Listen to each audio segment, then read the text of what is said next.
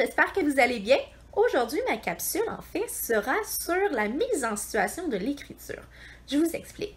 En fait, je vais vous montrer un peu comment ça fonctionne quand on arrive devant notre mise en situation et on n'est pas sûr de bien comprendre ce qu'on doit écrire. Je vais vous montrer en détail une façon de faire pour être certain que vous répondez à tous les critères d'écriture. Donc, bonne écoute! Vous voilà donc devant votre mise en situation de votre écriture. Première des choses, je vais commencer par tout simplement lire la mise en, situation, juste une première fois. Après avoir lu l'article paru dans la presse concernant les fraudes sur Internet, vous décidez de préparer une affiche informative que vous installerez sur un babillard de votre centre. La situation de votre collègue vous a touché et vous espérez pouvoir informer les autres sur les différentes situations de fraude possibles sur Internet afin qu'ils ne soient pas victimes d'une fraude à leur tour. Parfait. Là, ça fait beaucoup d'informations, donc je vais aller décortiquer ça un tout petit peu. Première question que je me pose, c'est pour qui? Hein? C'est pour qui je fais ce texte-là? À qui ça va s'adresser? Donc, si je me rappelle bien, quand j'ai lu ici, dans cette phrase-ci, on disait Ah, vous installerez sur un babillard de votre centre. Super. Donc, ça, c'est super Internet. C'est super important. Je vais venir le mettre en surlignant. Et voilà. Un babillard de votre centre. Donc, ce que ça veut dire, c'est que je vais écrire aux élèves de mon centre. Excellent. Première chose, c'est fait. Deuxième chose. Ici, j'ai l'intention. C'est quoi mon intention d'écriture? Ça, ça, ce que ça veut dire, le mot intention, en fait, c'est dans ma tête à moi. Est-ce que je vais écrire un texte simplement pour donner des informations, des faits sur un sujet ou je vais devoir donner mon opinion sur le sujet. C'est super important hein, parce que selon l'intention, le texte va être quand même assez différent. Donc, je vais aller voir dans mon texte, dans ma mise à situation, qu'est-ce qu'il me demande. Si je retourne lire, j'ai des petits mots qui me donnent clairement des indices. Parce que si vous regardez, vous avez, vous décidez de préparer une affiche informative. Ah, informative, information, parfait. Ça veut dire ici, je donne encore des informations. Je vais aller voir plus loin juste pour être certaine. La situation de votre collègue vous a touché et vous espérez pouvoir informer. Ah, une autre fois, là, c'est très clair. Ce qu'on veut, c'est informer les autres. Hein?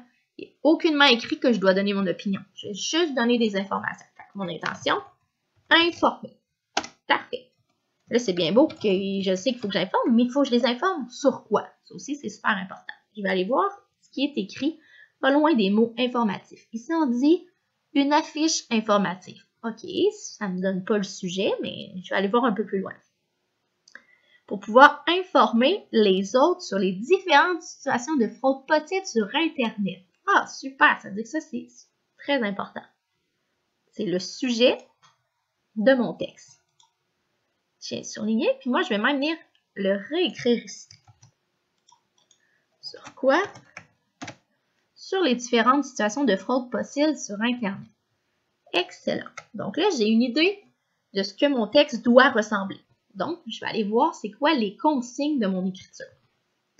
Ils nous disent tout d'abord de faire un plan. Excellent, on va pouvoir faire notre plan. Ça, ça veut dire qu'est-ce qu'on va retrouver dans notre introduction, dans notre développement, dans notre conclusion. Hein. On va des petits mots-clés pour nous aider à écrire.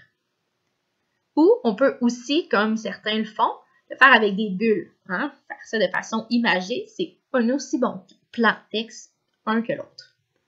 Ensuite, on va écrire le brouillon. Parfait, la première copie j'écris. Ensuite, oh, ça c'est super important. On nous dit qu'il faut un titre original.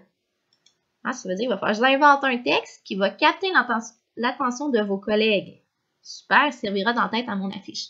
Mon en-tête, ça si je me rappelle bien, c'est ce qui est en haut parce que si j'y vais avec un lien, mon titre va se placer en haut. Ensuite, votre texte doit contenir environ 150 mots. Super, 150 mots. Important, je vais devoir compter mes mots à la fin de mon texte pour être certaine.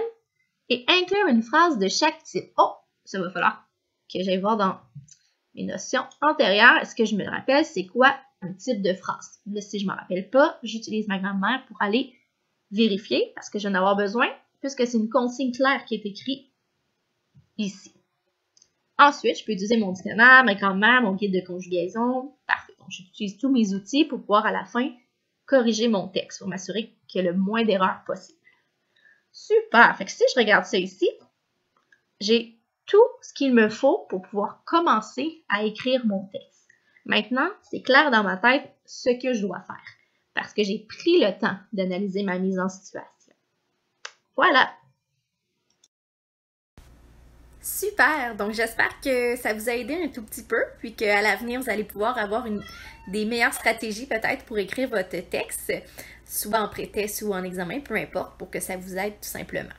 Euh, lors de prochaines capsules, je vous montrerai aussi comment utiliser la mise en situation pour faire une introduction. Donc, c'est à suivre. Bye bye! À la prochaine!